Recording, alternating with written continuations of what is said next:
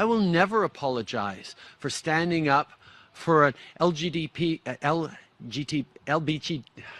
LGBTQ2 uh, kids' rights to not have to undergo conversion therapy.